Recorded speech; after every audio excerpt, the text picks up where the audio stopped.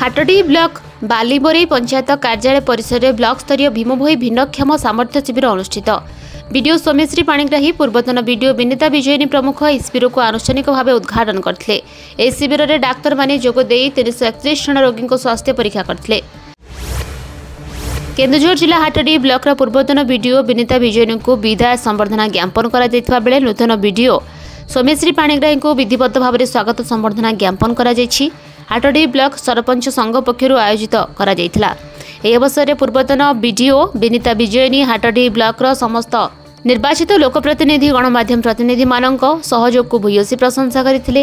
ନୂତନ ବିଡିଓ ସୌମ୍ୟଶ୍ରୀ ପାଣିଗ୍ରାହୀ ତାଙ୍କର ବକ୍ତବ୍ୟରେ ସମସ୍ତଙ୍କ ସହଯୋଗ ରହିଥିଲେ ବ୍ଲକକୁ ସଫଳତାର ଶୀର୍ଷ ସ୍ଥାନରେ ପହଞ୍ଚାଇ ପାରିବା ବୋଲି ମତବ୍ୟକ୍ତ କରିଥିଲେ। ଏହି ଅବସରରେ ଉଭୟ ବିଡିଓଙ୍କୁ ପୁଷ୍ପଗୁଚ୍ଛ ଉତ୍ତରୀୟ ଦିଆଯାଇ ସମ୍ବର୍ଦ୍ଧିତ କରାଯାଇଥିଲା। ଖୋର୍ଦ୍ଧା ଜିଲ୍ଲା ବେଗୁନିଆ ବ୍ଲକ ଦେଉଳି ପଞ୍ଚାୟତ ଗୋଡ଼ା ଲୋକନାଥ କ୍ରିକେଟ ପଡ଼ିଆଠାରେ ଓଡ଼ିଶା କ୍ରିକେଟ ଟୁର୍ଣ୍ଣାମେଣ୍ଟ ଅନୁଷ୍ଠିତ। ଫାଇନାଲ ମ୍ୟାଚ୍ରେ ଯୋଡ଼ି ହୋଇଥିଲେ କମାଣ୍ଡୋ ଏଗାର ଓ ଲୁଟୱରିୟର୍ସ ଅନୁଗୁଳ। ଫାଇନାଲ ମ୍ୟାଚ୍ରେ ଅନୁଗୁଳ କମାଣ୍ଡୋଠାରୁ ଦଶ ରନ୍ ଅଧିକ କରି ଜିତିଥିଲେ।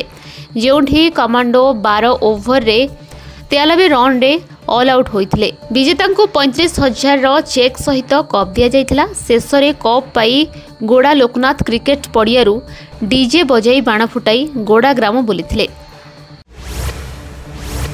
ଭଦ୍ରକ ଜିଲ୍ଲା ଆଗରପଡ଼ା ଗୋବିନ୍ଦଜିଉ ଶ୍ରୀରାମପୁର ତନ୍ତବାୟା ସହଯୋଗ ସମିତିରେ ପହଞ୍ଚିଲେ ବିଭାଗୀୟ ଅଧିକାରୀ। ବୋର୍ଡ ସଭ୍ୟଙ୍କ ସହ ଆଲୋଚନା କରି ତନ୍ତ ଚାଲୁ କରିବା ନେଇ ପରାମର୍ଶ ଦେଇଛନ୍ତି। ସହକାରୀ ବୟନଶିଳ୍ପ ନିର୍ଦ୍ଦେଶକ ବୟନ ନିରୀକ୍ଷକ ବୋର୍ଡ ସଭ୍ୟ ବୁଣାକାର ପରିବାରଙ୍କୁ ଭେଟି ପୁନର୍ବାର ତନ୍ତ ଚାଲୁ କରିବା ସହ ସରକାରଙ୍କର ବିଭିନ୍ନ ଯୋଜନାର ସୁଫଳ ନେଇ ବୁଝାଇଥିଲେ ଆଲୋଚନାରେ ତନ୍ତବାୟ ସମିତି ସଭାପତି ନିରଞ୍ଜନ ଦାସ ଉପସଭାପତି ସଞ୍ଜୁଲତା ବେହେରା ସମେତ ବହୁ ବୁଣାକାର ପରିବାର ଉପସ୍ଥିତ ଥିଲେ।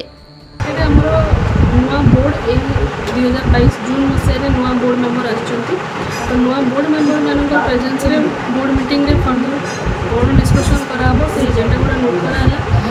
ତା ସାଙ୍ଗରେ ସରକାରଙ୍କର ଯେଉଁ ସ୍କିମ୍ସ ଗୁଡ଼ା ଅନଗୋଇଂ ସ୍କିମ୍ସ ଗୁଡ଼ା ଚାଲିଛି ସିଏମ୍ଙ୍କର ସ୍ପେଶାଲ ପ୍ୟାକେଜ୍ ଯେଉଁଗୁଡ଼ା ଚାଲିଛି ଯେଉଁ ଯେଉଁ ଯେଉଁ ସ୍କିମ୍ସରେ ଆମେ ବୁଣାକାରମାନଙ୍କୁ ବର୍କସେଟ୍ କମ୍ ହାଉସିଂ ଦେଉଛୁ ବୟନ ଜ୍ୟୋତି ଦେଉଛୁ ବ୍ୟବସାୟରେ ମାନେ ବୁଣାକାରମାନଙ୍କୁ ଭତ୍ତା ଦିଆହେଉଛି ସେଇ ସ୍କିମ୍ସ ତା'ର ଗାଇଡ଼ଲାଇନ୍ ବିଷୟରେ ଇଣ୍ଟ୍ରୋଡକ୍ସନ୍ ଦିଆହେଲା ଏବଂ ତାଙ୍କୁ ଲିଫଲେଟ୍ ଡିଷ୍ଟ୍ରିବ୍ୟୁସନ୍ କରାହେଲା ଗୋଟେ ଆୱେରନେସ୍ କ୍ୟାମ୍ପ ଆରେଞ୍ଜମେଣ୍ଟ କରାଯାଇଥିଲା ଆଜି ଜିଏସ୍ପୁର ସୋସାଇଟିରେ ଏକ ଆୱାରନେସ୍ କ୍ୟାମ୍ପ ହେଉଥିଲା ଏହି ଆୱାରନେସ୍ କ୍ୟାମ୍ପରେ ମୁଁ ଯୋଗ ଦେଇ ଆମର ନବନିର୍ବାଚିତ ପରିଚାଳନା ପରିଷଦର ସଭ୍ୟ ସଭ୍ୟମାନଙ୍କୁ ଆମର ସମିତି କିପରି ପରିଚାଳିତ ହେବ ସେ ବିଷୟରେ ତାଙ୍କୁ ଅବଗତ କରାଇଥିଲି।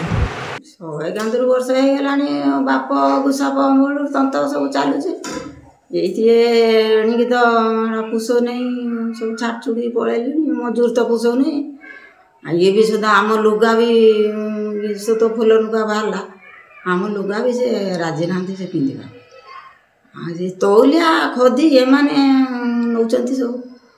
ବେପାରୀ ନହେଲେ ଆଉ ପିନ୍ଧୁନାହାନ୍ତି ତ। ମଜୁରୀ ତ ଏଇ ଖଦିର ତ ତିରିଶ ଟଙ୍କା ଦେଉଛନ୍ତି ମଜୁରୀ। କୁଆଡ଼େ ବସେଇବା କିଏ ବୁଣିବ? କଟକ ଜିଲ୍ଲା ତଥା ସାଲେପୁର ନିର୍ବାଚନ ମଣ୍ଡଳୀ ଟାଙ୍ଗୀ ଅଞ୍ଚଳ ବିଜେଡି ପକ୍ଷରୁ ଜନସମ୍ପର୍କ ପଦଯାତ୍ରା ବିଭିନ୍ନ ପ୍ରକଳ୍ପ ଶିଳାନ୍ୟାସ ଉଦ୍ଘାଟନ ଉତ୍ସବ ବୁଧବାର ଅନୁଷ୍ଠିତ ହୋଇଛି। ପ୍ରଥମ ପର୍ଯ୍ୟାୟରେ ତେର ଗୋଟି ପଞ୍ଚାୟତ ମଧ୍ୟରୁ ଛଅ ଗୋଟି ପଞ୍ଚାୟତରେ ପଦଯାତ୍ରା ଅନୁଷ୍ଠିତ ହୋଇଥିବା ବେଳେ ସବୁଠି ସାଲେପୁର ବିଧାୟକ ପ୍ରଶାନ୍ତ ବେହେରାଙ୍କ ଉପସ୍ଥିତ ଦେଖିବାକୁ ମିଳିଥିଲା। ପୂର୍ବାହ୍ନ ଏଗାର ଘଟିକାରେ ଟାଙ୍ଗୀ ଚୌଦ୍ୱାର ବ୍ଲକ ମୁଖ୍ୟାଳୟ କୋଟାସାହି ପଞ୍ଚାୟତରୁ ପଦଯାତ୍ରାର ଶୁଭାରମ୍ଭ କରାଯାଇଥିଲା।